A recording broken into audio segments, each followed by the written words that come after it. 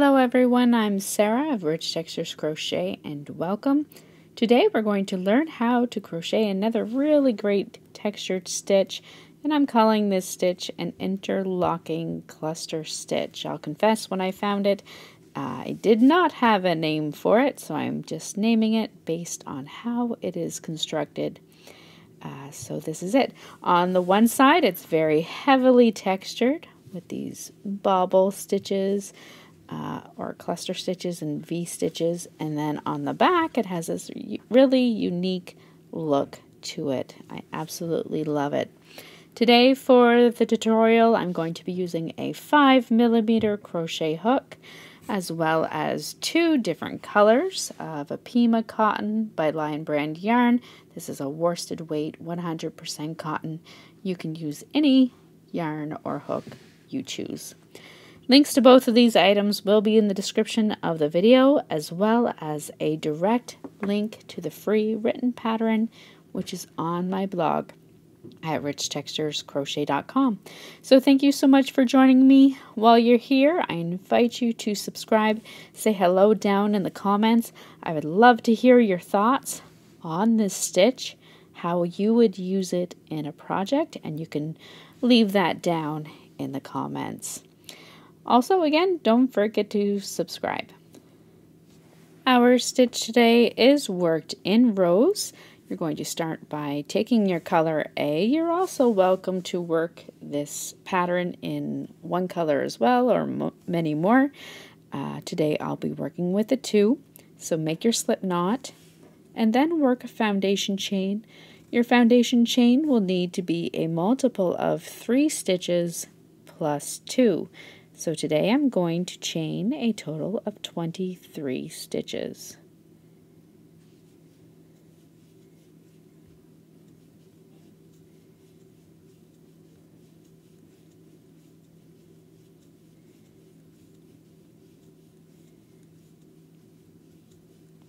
there's 23. Once you have your foundation chain worked, you're going to begin by working a double crochet into the fourth chain from your hook.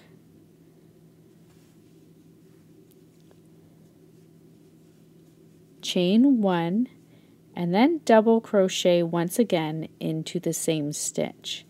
This is called a V stitch. We're going to be working them a lot throughout this pattern.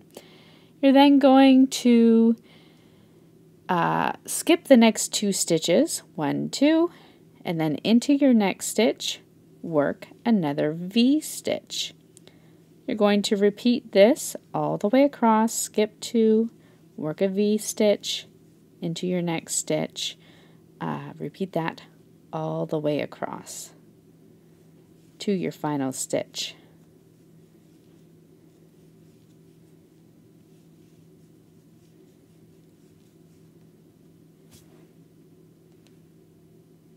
At the end of row 1, when you come to your final chain, you have one left over, simply double crochet into that final stitch. Chain 1 and then turn your work. For row 2, into your first stitch, work one single crochet. Chain 1 now working, uh, skipping the next V stitch and working into the space between your two V stitches. So skip the next stitch and in between that one and the next one, you're going to work a single crochet, chain one, followed by a double crochet cluster into the same space. To work your double crochet cluster, yarn over, insert your hook into that same space, yarn over, draw up a loop, yarn over and pull through two. Repeat that two more times. So yarn over, insert your hook, yarn over, drop a loop, yarn over and pull through two. One more time. You'll have four loops on your hook, yarn over, and pull through all four.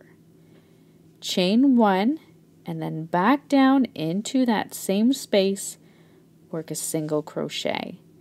So into this one space, you have a single crochet, chain one, double crochet cluster, chain one, single crochet, all into the same space between those two V-stitches.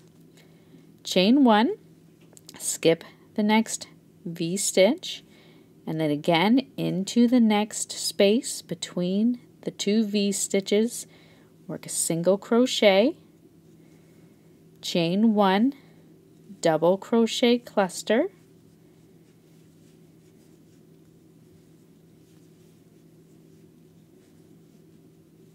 chain one and single crochet, chain one, skip the next V, into the next space, repeat. You're going to do that all the way across to your final V-stitch.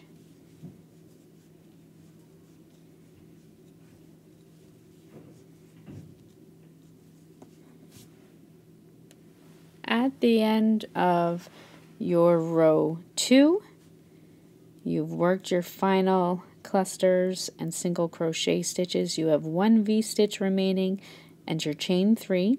So you're after your single crochet stitch, chain 1, and then you're simply going to work one single crochet stitch into the top of your starting chain. If you would like to change color at this point, uh, how I like to change color is insert your hook into that stitch using your color A, yarn over, draw up a loop. You can then drop your color A and leave it attached because you'll pick it up on your way back. Place your color B on your hook and pull through. Some people like to use a slip knot there at the beginning. It's up to you. So then you are going to chain three and turn your work. For row three, you are going to, you've chained three, which counts as a stitch, into the center of the first V-stitch, that is two rows below, you're going to work a V-stitch. So yarn over and you're just inserting your hook into the center of that V-stitch two rows below and work a V-stitch. Double crochet, chain one, and double crochet. Skip the next cluster and single crochet stitches and again into the center of the next V-stitch two rows below work one V-stitch.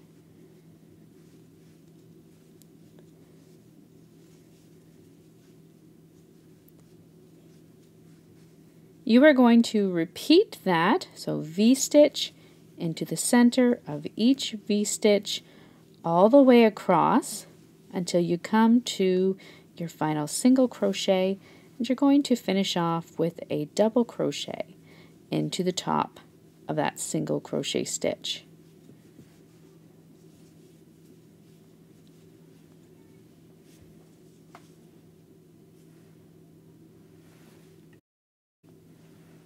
at the end of your row 3 double crochet into that first stitch. And then turn your work. Chain one and turn your work.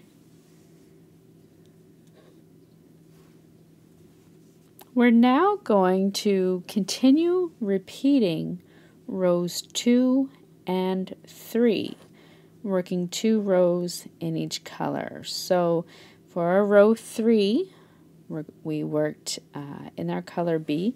We're going to continue working in our color B for row four, single crochet into that first stitch, chain one, skip the next V stitch into the space, which is above your cluster, into the space between that next V stitch and the one after, single crochet, chain one, double crochet cluster,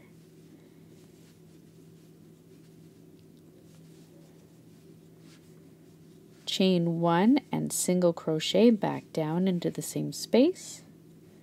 Chain one skip the next v-stitch and repeat. So that was your row two. At the end of your row two you're going to uh, change back to your color A and then work two rows in your color A and switch back and so forth. I'll work through to the end of this row for you just so I can show you uh, how you're going to pick up your color especially if you haven't fastened off yet.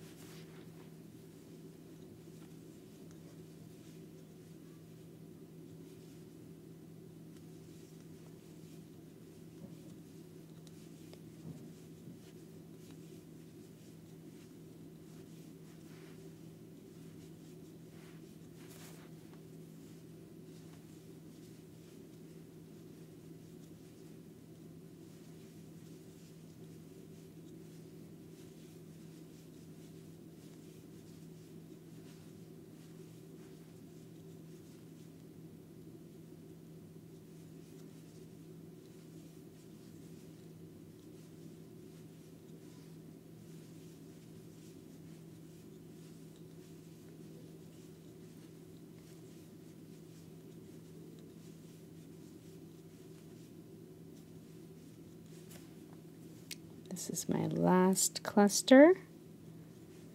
Chain one into the top of my starting chain, work a single crochet, but in the middle of a stitch I'm going to drop that color B, pick up my color A again, be careful not to pull it too tight, you don't want to cause your fabric to bunch, place it on your hook and pull through, chain three, and turn your work. You're then going to continue repeating your rows 3 and row 2 and uh, for as long as you're what you would like the pattern fasten off weave in your ends and that's all there is to working this interlocking cluster stitch. So thank you so much for joining me. Once again I invite you to subscribe. Feel free to say hello down in the comments and I look forward to seeing you again next week until then, happy crocheting. Bye.